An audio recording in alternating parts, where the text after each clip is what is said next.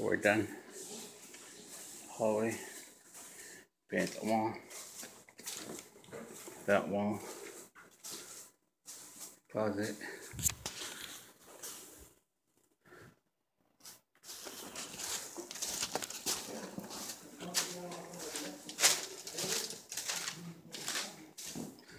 I finished this room today.